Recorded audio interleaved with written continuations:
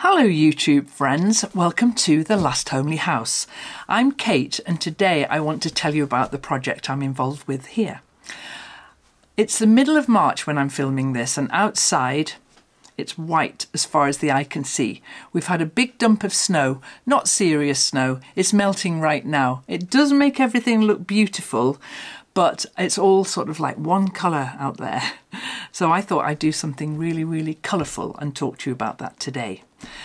Now, a few years ago, two I think, I made, um, a, I think it was a series of three videos all about the mat making project I was doing to make myself a draft excluder. It works perfectly, by the way. I've been using it ever since, and it's it makes the uh, kitchen really warm and cosy. And so that was a technique called hooky or proddy matting. And so, what I want to talk to you about today is the other one of those um, types of mat making. That one uses clips of uh, wool blanket, in this case dyed, or clips of anything that are about, you know, that's kind of long, and po- poked into a piece of hessian or burlap to make a very kind of furry mat. The technique that I want to show you today, I've been doing this for a long time and I've stuck some of these pictures up here beside, behind me that I've made over the years and we'll have a closer look at them in a minute. But this one's a good one for doing uh, more detail and, and maybe little pictures and so on. Uh, you can make mats in this technique, but um, it, it's great for pictures, and that's what I like to do. I like to make these small pictures. So yesterday, when the snow drove me in from the garden, I got this mat frame out. I'll show you in a minute, and I made uh, some little, uh, some of the little pictures that I like to make. I actually filmed all of that, and that's over on my Patreon channel. If anybody wants to see a little bit more about how I made, particularly the the little pink and black uh, man that's on this run of Hessian here. So, uh, what's the difference between the two techniques? The mat that I made for my draft excluder, I used this hook. It's not a hook, it's a prodder. In fact, this one, I really love it. It's a rivet from the shipyards that's been sharpened. I love this, this one. It fits into my hand really well. But in order to do this technique, you need a hook. And so you need a, um, you need to hook the fabric and so I've got this beautiful tool here which just sits beautifully in my hand. Now let's talk about the pictures behind me because um, this is a good medium for doing something a little bit weird and out there which is definitely what I like to do. So if we look at each of these pictures here, so the yellow cat, that one was a, a picture that I made from my son John's uh, 18th birthday. So that's a long time ago because he's in his mid 30s now. And before his birthday, I said to him, John, um, what, what would you like for your birthday? I said, I want to make you a mat. What would you like? And he just got the back of an envelope and he just, three seconds, he just drew this cartoon cat. And that was it. Never mentioned it again. And so I took that image and I made it into these, this cat in the colours of his he likes to support Sweden's football team, national team. At the time, he did anyway. So this is blue and yellow for Sweden. and he, when he opened it on his birthday, he was he got some proper presents as well. But he was a little bit surprised that I'd actually made his throwaway design. I really enjoyed making that one, and uh, surprisingly, he didn't want to have it. So he, he said, "You can keep it, Mum." Thanks a lot, John. I wonder why he didn't want it hanging in his house. so the one underneath it, I made for my um, other son, Owen. Now, Owen's favourite meal at the time, anyway, and maybe I made this for his 18th birthday, um, was uh, a full English breakfast. And so I, I made this mat for him. And you can see that we've got sausage and bacon and eggs and beans and tomato sauce and all sorts in there, mushrooms as well, and a, a, a checkered tablecloth. And what I did for his birthday, I laid that mat down on the table and then I, I made the exact same meal, put the knife and fork where the knife and fork were, and put the meal on top of it. And then when he moved it aside, it was all there in, in mat form. and strangely, he didn't want it either. He said, No, no, mum, you can keep it here. so um, that's what I did.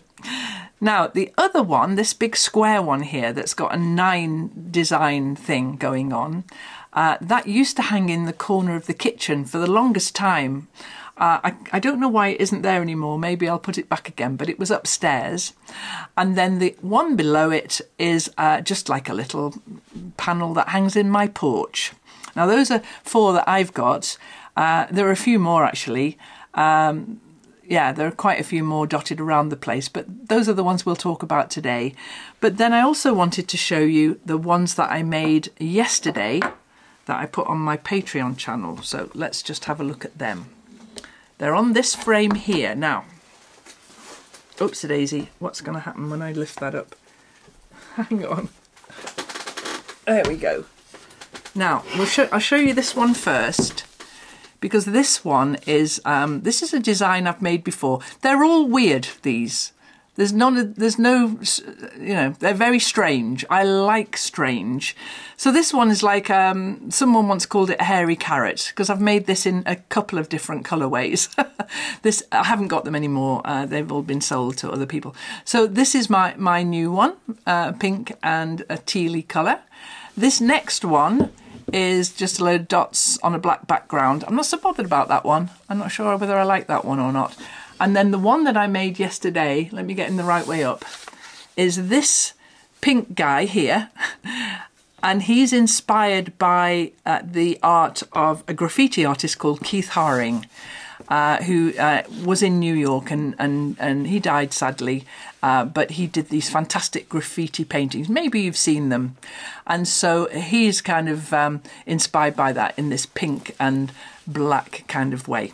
Now, those, so those are the three that I made yesterday. They're quite quick to make when you get going with them. But what I want to do now is cut these off and show you what this frame's like because I'm going to make some more.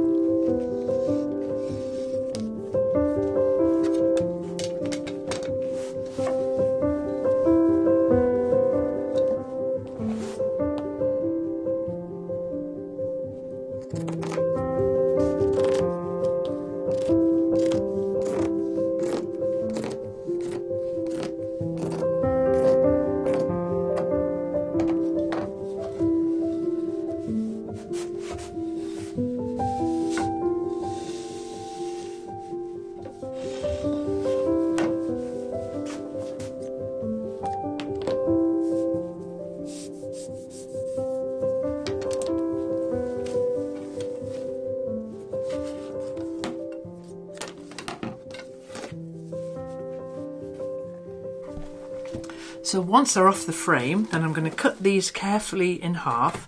I haven't left much room here, but there'll be enough to do what I need to do. Because once they're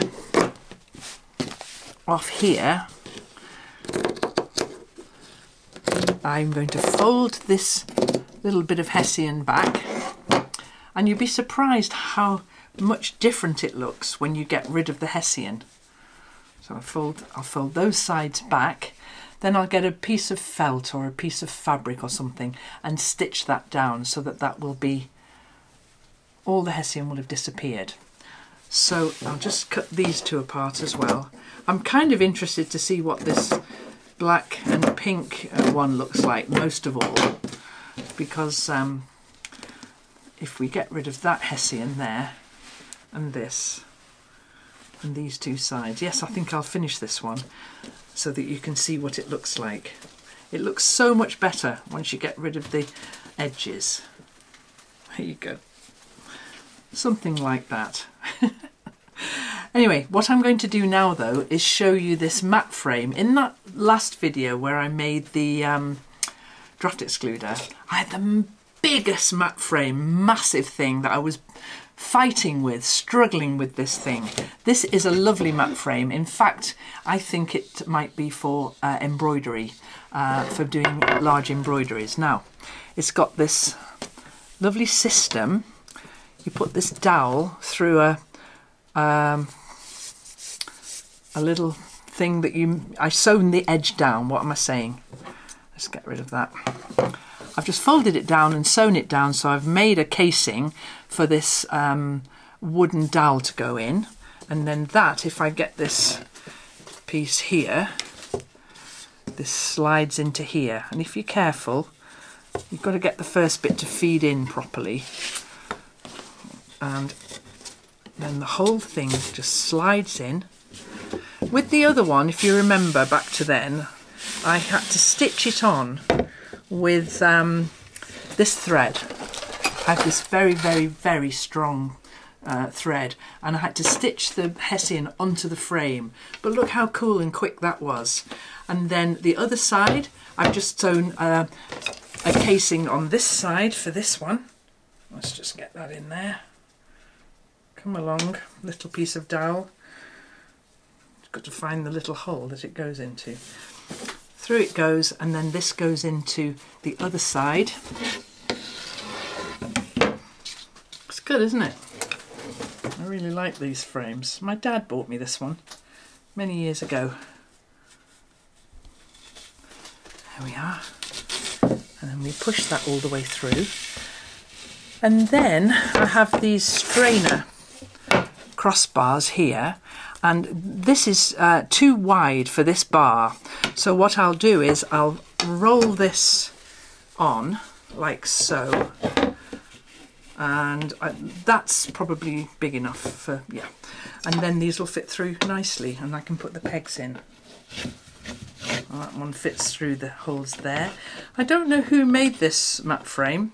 I've tried to buy another one since smaller one.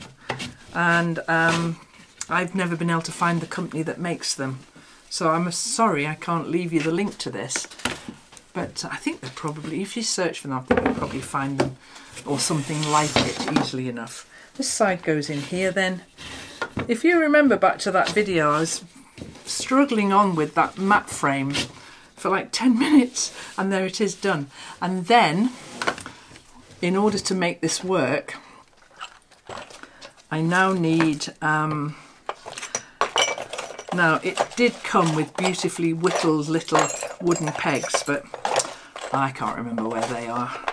So I've got four nails that I, now this is how this works. I'll just stand up to do this part. Okay, put one in that side, like that, and then one in the same place this side.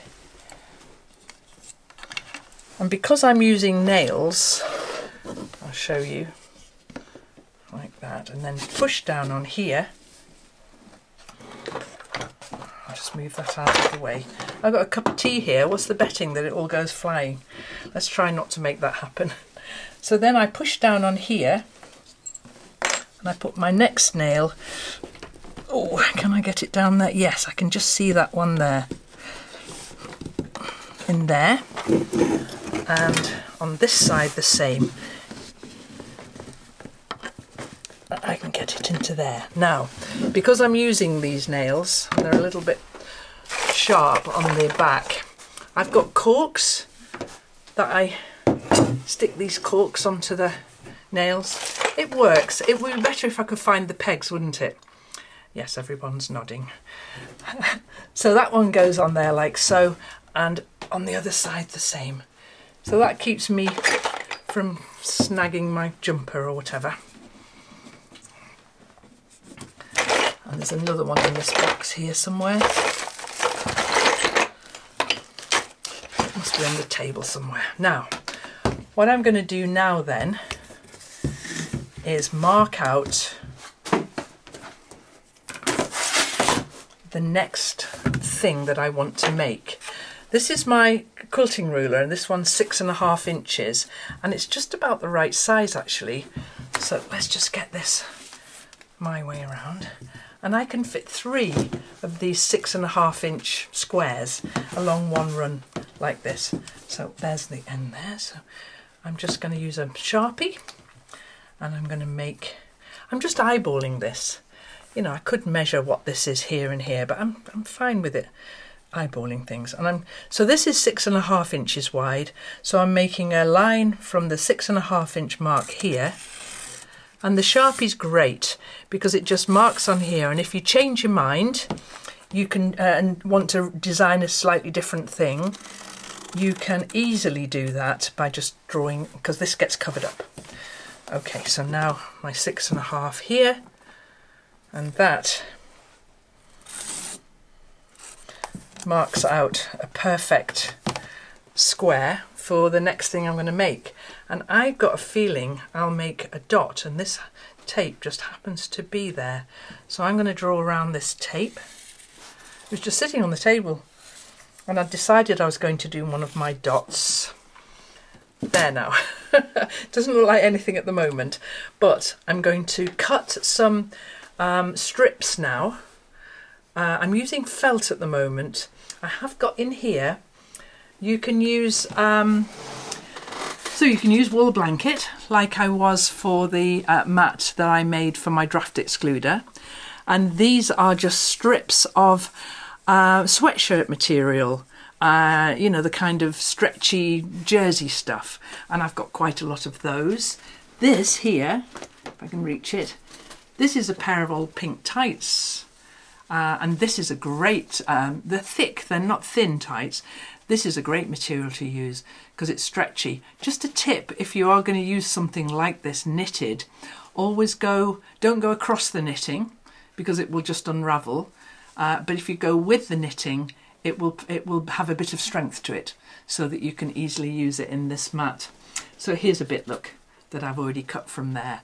And so you can see that it's stretchy, but it's perfect for this kind of work. In fact, why don't I use this for the middle of this pink dot? Yes, I will. And then we'll choose something else for the outside because I've got quite a few of these already cut. Let's do that. There we go. Yes. Why cut more when they're already made? Okay, great. So we'll put those aside for now. And I'm using, where's my lovely hook? Where's my lovely hook? I'm using my lovely hook. Now, it's really great if you've got a couple of trestles or chair backs or something, but I'm finding that this works perfectly well if I jam it like that. I sit comfortably here and I jam it like that and then I can work on this bit here. I'll just move aside a little bit so that can move up. And just like last time when I was um, making the draft excluder piece and I was doing that different kind of technique that's called um, proddy or proggy matting. I worked that from the back and, and, and poked the fabric through. With this one, I'm working it from the front and the fabric is underneath. So I can't see where the fabric's coming, but I can feel. Okay, so I'm just uh, to start anywhere, right here, and then I pull up the fabric like so and leave that end like that. Once that end is completely surrounded by what I'm doing, then I can cut it off and then we're away. And I just put the hook down about two or three um, threads across, not into the next hole, but maybe yeah, maybe three threads across. And there we go. What I'm doing is I'm feeling from the underneath. It's like my hand underneath is my eyes. I can't see what's going on under there, but I can feel it. And so I'm just I'm folding this fabric in half with my finger and thumb so that that bit is the bit that I'm presenting to the Hessian and then I just poke the thing down and bring it up. By folding it like that, it means that you get a really nice even bobble on the front rather than these raw edges sticking out. And that's it, I'm off now. And for a snowy kind of afternoon like this is, then having the fire on and a cup of tea and maybe a good audio book, something like that that's me sorted for the rest of the afternoon. So I'll finish this and then I'll show you what it looks like when it's done. Very strange, but loads and loads of fun.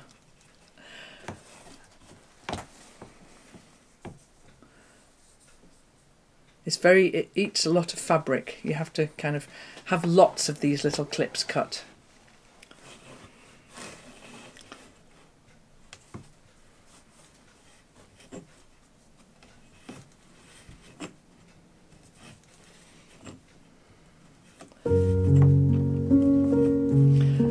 So stay tuned till the end and you'll see the finished piece. But for now, I'm just going to carry on working. If you've enjoyed this video, give us a thumbs up.